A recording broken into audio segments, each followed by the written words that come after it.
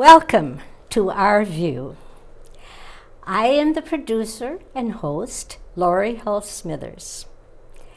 And this show airs on Channel 17 on Sunday at 3:30 a.m. and 11:30 a.m. on Monday at 7 a.m. on Thursday at 8:30 p.m. and Saturday at 5:30 p.m. among other times.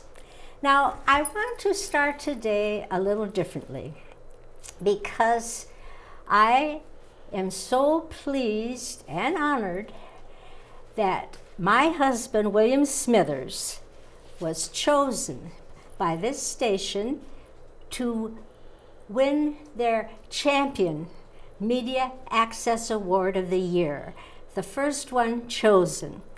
And what I am now showing is the certificate or award that he got from the Congress of the United States and Lois Capps for his service to the community. Now, he also was is this is this up enough? You were going to give me a cue. I, I have uh, someone uh, as a guest who has knows more about this than I do. He also had an award from the state. The uh, congressional one was from Lois Capps in the Congress, and the state was from Hannah Beth Jackson, and the Senate, the state Senate. And he and I both are so grateful for these awards. He gave a speech, an acceptance speech, uh, thanking this TV station and encouraging people to follow whatever they felt strongly about.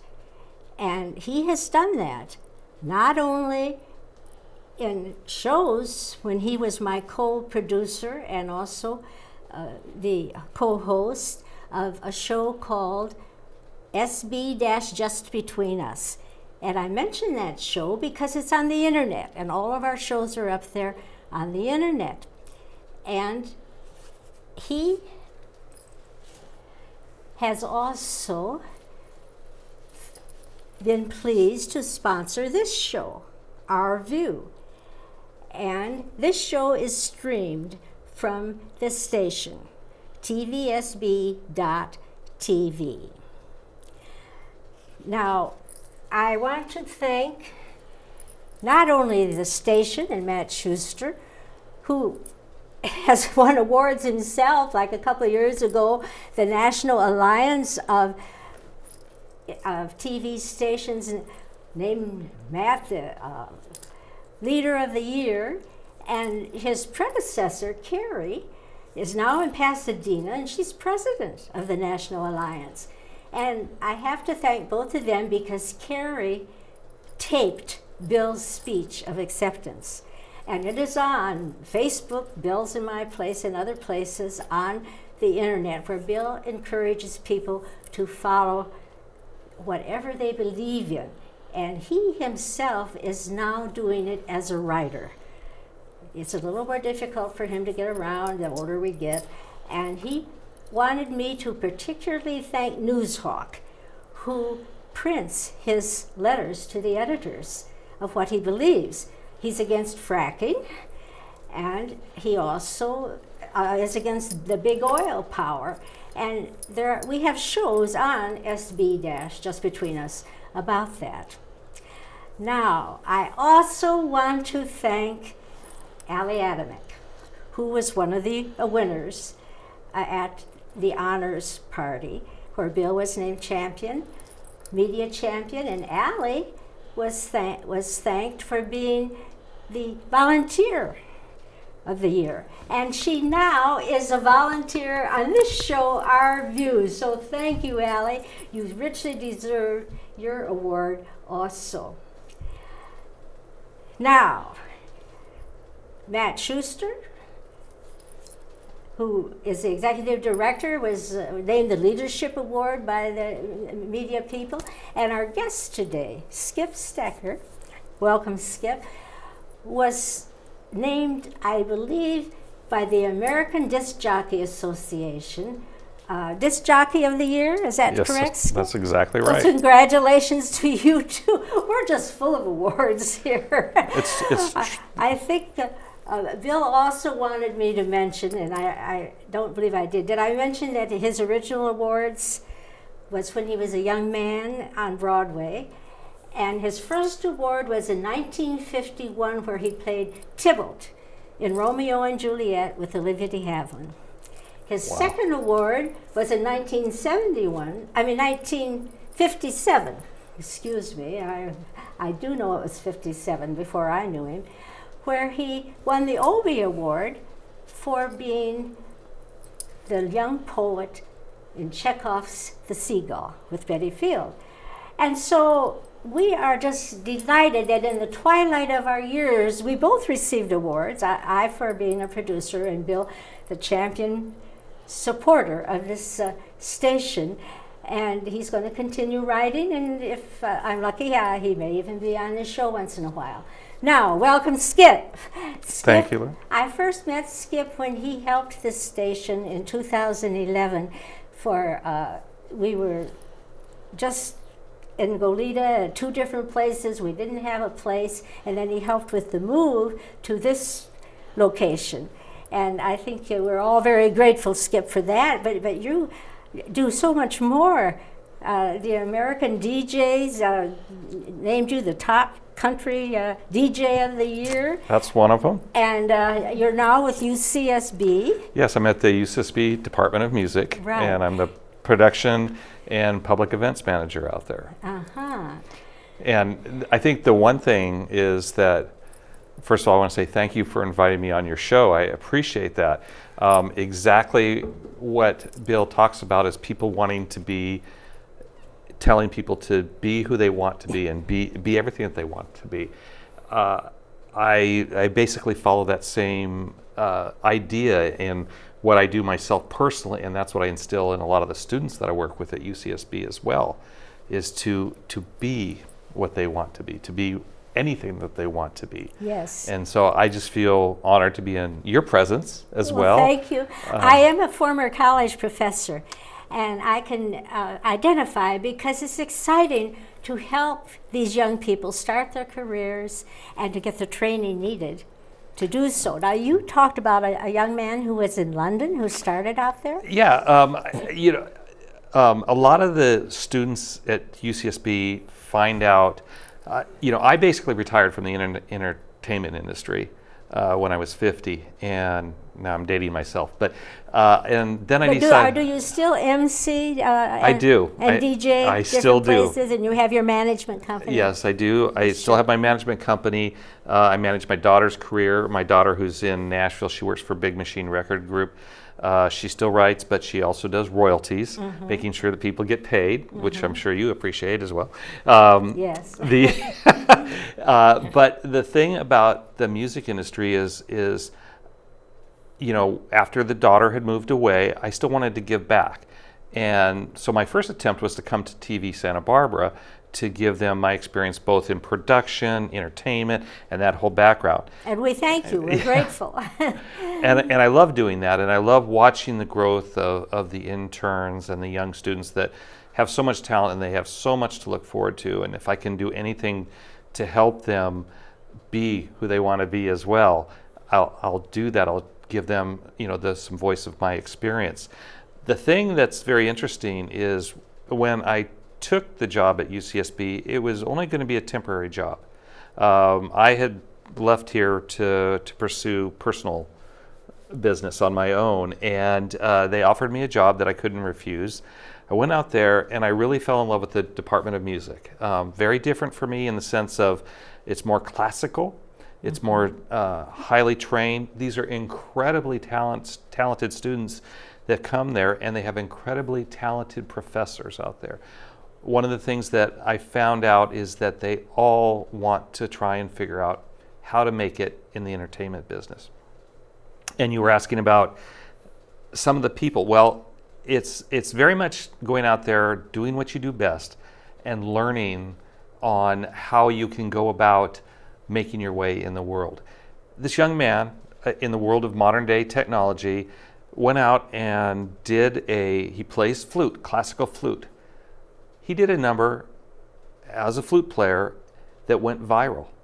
And it went so viral that he ended up being a guest on the Jimmy Kimmel Live show. And it went viral. It started in England and just blew up. Well, from that very fact, he is now presently touring uh, in England right now with a fellow, another UCSB student by the name of, uh, and I'm talking about Azim Ward. His partner in this is a guy named Timmy uh, Lazinski. And they're both from the Bay Area, but they go to UCSB. And they are now touring the, the UK, playing a mixture of classical flute music along with modern electronic technology. And at the same time, he's beatboxing on the flute. Now, this is taking contemporary, classic, and modern and all sticking it together. That's these, wonderful. These are people doing exactly what you were saying, Bill, is, and you say, yeah. is about being and dreaming who they are wanting to be. So. And when you said London and England, my ears really perked up because my daughter and I are going to London the 1st of October to teach an acting intensive. Boy, we have uh, taught for a school over there who have sent us students uh, in our Santa Monica, where uh, we mainly teach. And then we taught for another school over there two years ago. And now the former students have asked us to come back on our own to teach acting and directing and writing. And so we're going to be teaching a week long intensive from October 5th to 10th and I would invite your two men to come. Except you said that you probably they going to be coming they back. probably wouldn't be in England when we're there. but I thought it would be fun to have two guys oh, from yeah. Santa Barbara in our intensive. That would be, uh, and they, they would they would be London. the type to go ahead and, and take that on. I think Yeah. they do go through London, Mm-hmm. uh, but you know, obviously these people know how important what you do is out there. That they've asked you back, even as graduate students Yes. to have you come back and, and teach. It's London actors who have, uh, they were sent here by a school that asked us to teach them. And then we taught two years ago at another school. And um, they've asked us just to come back on our own, which we're doing. We're teaching in a space that's between the Thames and Soho. so it, I think it's quite a good location. now, I just have to ask, uh, even though I'm not the interviewer, I just It's okay. it's I'm okay. just we'll very, just have a conversation I, am just here. very interested in this. Is is the focus on the space? I mean, you- I, mean, I shouldn't say not on the space. Is the focus solely on the actors? Nothing. I mean, you don't worry about props. You don't worry about the set. You just strictly work on the actors and their actor skills. well, uh, then we also are going to have directors in the group. Okay. And when we have a director, we take it from the standpoint of the director. Are the actors achieving what you've worked with them on and, and uh, what you want? Uh, so, and writers. I think there's a few people who are bringing in their own work that they've written that they want our feedback on. But mostly, uh, we just try to help the actors use themselves use what they know and use themselves. And as I told you, I wrote a 350 page book explaining all this, which many universities use. I don't know if any, you know, at UCSB use it or not, uh, but uh, it's been out for quite a while. I like the fact that you're, you know, that you're teaching and bringing them out and getting them to use, you know, use what they got, mm-hmm, and and that mm-hmm. is And what they know. Yes, mm-hmm, and what they know. So, um, I think there's a lot to learn from this, and in the sense of of that whether you know your focus is on acting, but it just seems also like they could very much be used in other entertainment worlds as well. Yes. I mean, not just I mean, you do focus on the acting and the directing, but I could see it. People of all different types of entertainment. Well, one of my best students was Rosanne Cash. Oh wow! She studied with me and, and she applied what she learned to her singing. And Barbra Streisand studied with Strasberg. And uh, Lainie Kazan and, uh, and many vocalists have applied uh, our techniques to their performance as vocalists. And is that is that I'm just kind of interested in this because Is it in how they perform? I mean, how they are portraying their song with, or their performance with their body and with their emotions, with their facial expressions? I mean, how would you? With their whole being. Their whole being. That's and the if term. they're conscious of their facial expressions, they're not working correctly. oh. because it's what they're feeling and uh, what is inside them. Sounds like I have a lot to learn too. but uh, Yes. So, uh, what do you feel is the most satisfying for you to do as an events coordinator at UCSB? You know, this is a, I get this question asked more often than you than you can imagine, but it's still a great question. I think the best thing that I can tell you is, like any project that you put together, it's a tremendous amount of prep work and and and practice and mm-hmm, rehearsals, mm-hmm. and getting things done right, and then when that curtain comes up for the first time or opens for the first time and the, you've gone past your first downbeat and the actual it is starting to go that moment is the greatest pleasure in my world when the play is rolling or the mm-hmm. vocal performance is rolling. I get a tremendous high a big lift off my shoulders of pressure uh, it's just the best feeling in the world and, and and I don't know if uh, you might experience it differently, but that's how I experience it. It's it's that that feeling, and the next best feeling is when the curtain closes. That, and I know the performance is over with, and those two things are very critical in how I perceive what I have just been part of. Oh, I understand because I've done a lot of directing in my past life, even though my husband has been the main director in our family. But I've done much directing too. Particularly when I was a college professor, I taught directing and directing a lot, you know, of shows.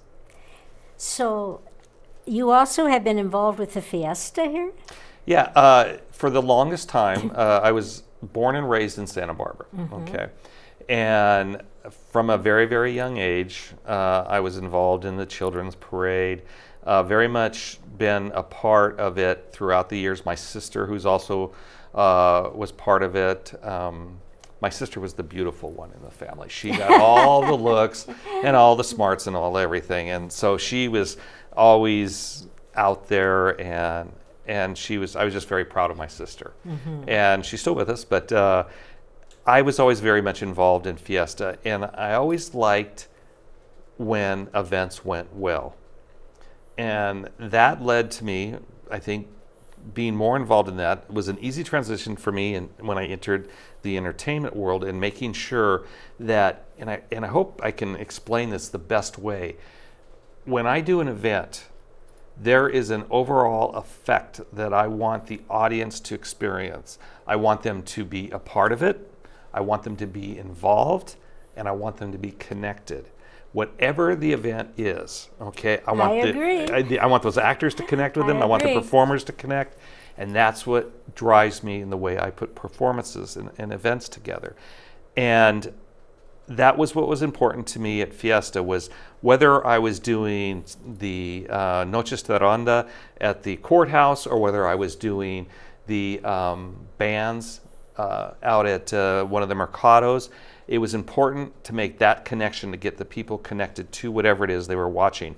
And we're talking about a very vast array of performance and Oh, types. yes.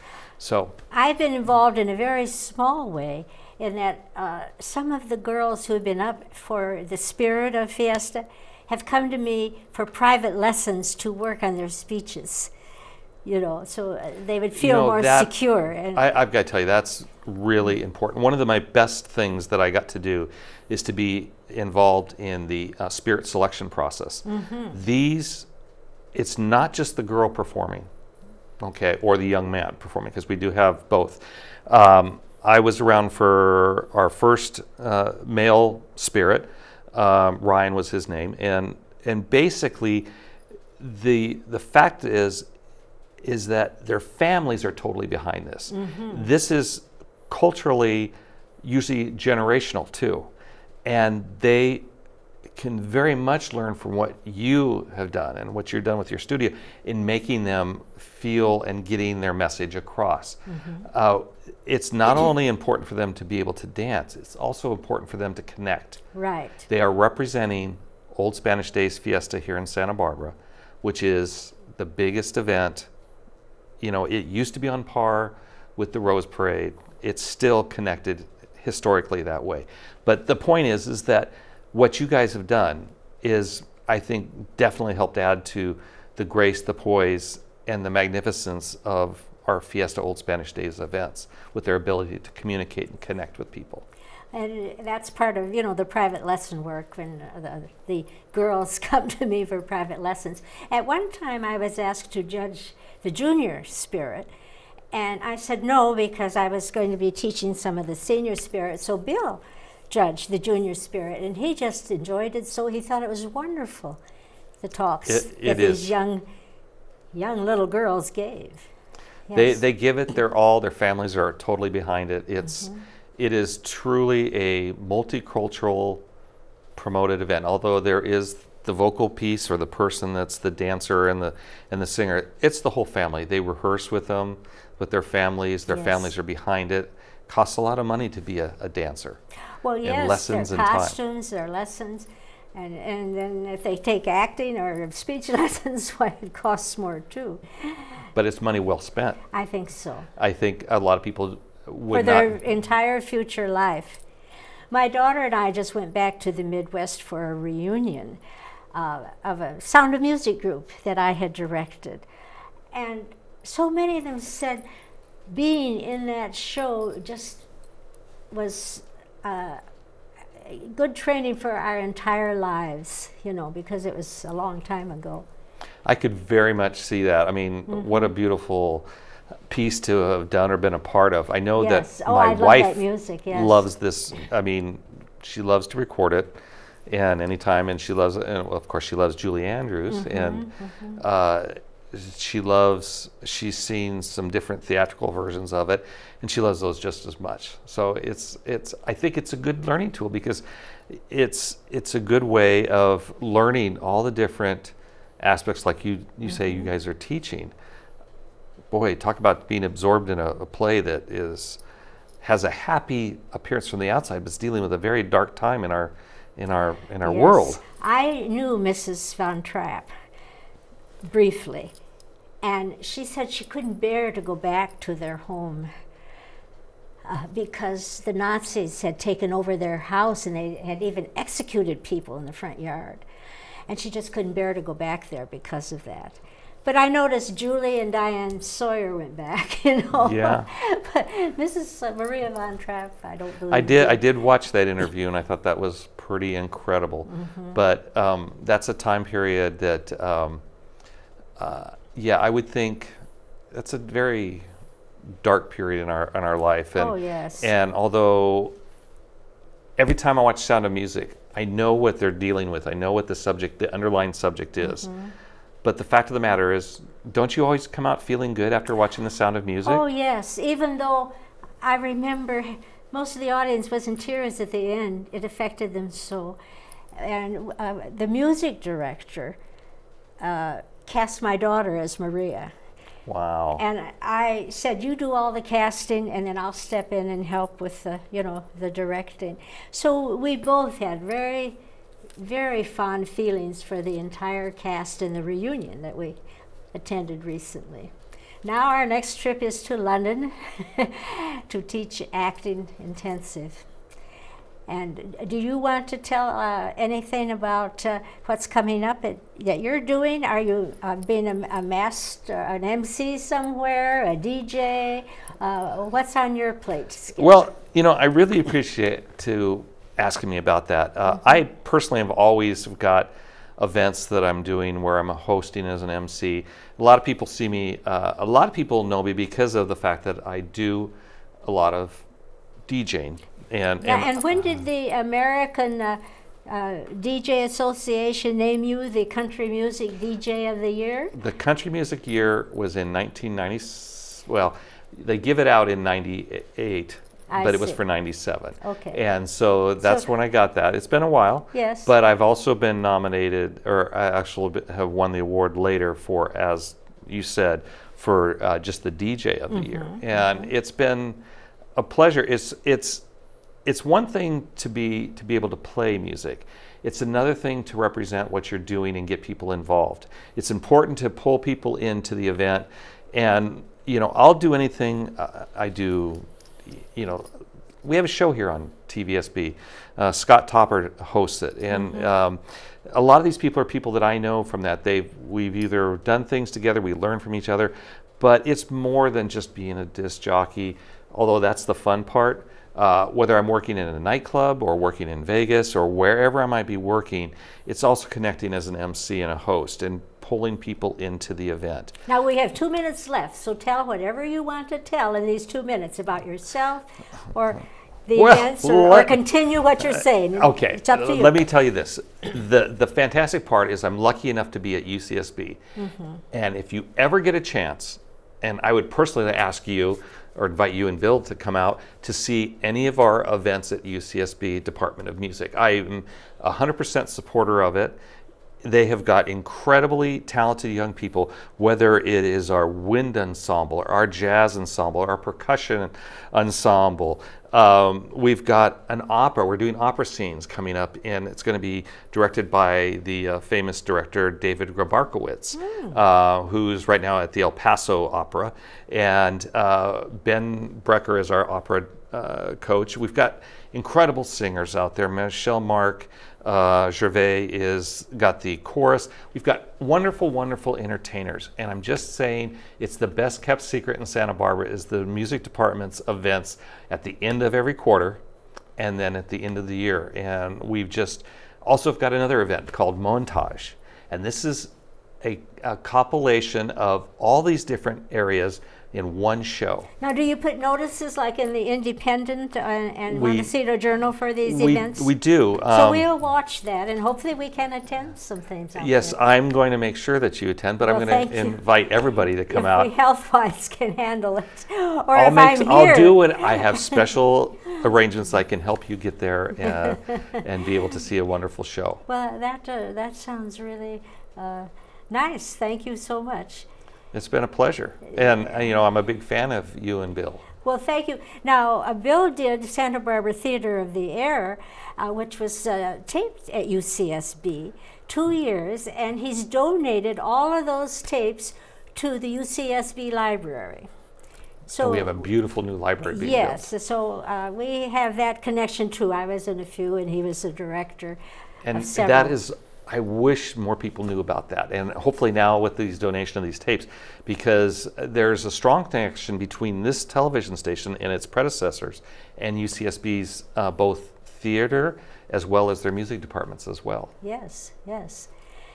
And we're pleased that the station has uh, been so supportive of UCSB. So I thought we had two minutes left. Am I wrong, Tyler? Did you put up two minutes? I wish to thank uh, our crew, Diane and Mark in the uh, booth, and uh, Tyler.